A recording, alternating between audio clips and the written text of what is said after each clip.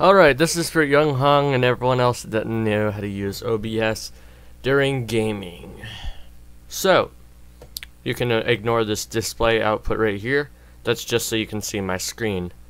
Now, what you really want to do is have a, um, uh, hold on, what's it called? It's called the, you want to have a game capture if you want to be less laggy and you don't want it to capture random crap on your screen. So basically, this is the game capture. I had renamed it to TF2. You just click on it, capture specific window. You gotta click on that. Uh, you have to have Team Fortress open, but you can just Half-Life 2.exe slash Team Fortress. You put that in there. Window match priority. Window must match. That's what I use. You have to have multi-adapter capability. Um, basically, just copy all these. Now, for the audio capture, since for some reason uh, people can't hear your voice, Young Hong, uh, I just set it to default. Sometimes speakers, headphones, uh, that that's just my headphones, basically. Um, which is neat because poop. But if that doesn't work, just use default, and it should work pretty well. So if ever you wanted to start streaming, you just click that you gotta have like a link and everything. But Young Hong, you already know how to do that. I saw your stream, Neato.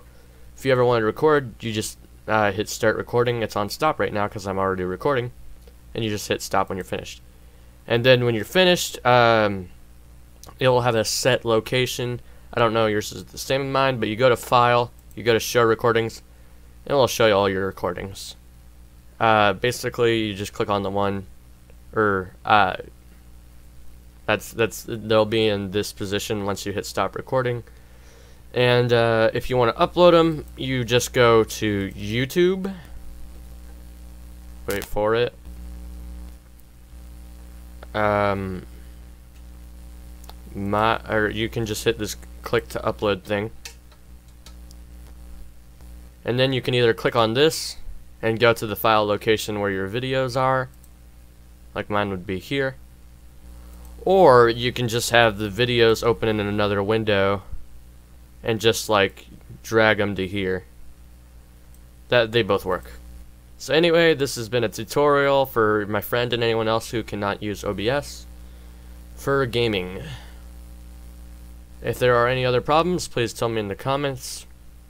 I might be able to help, possibly.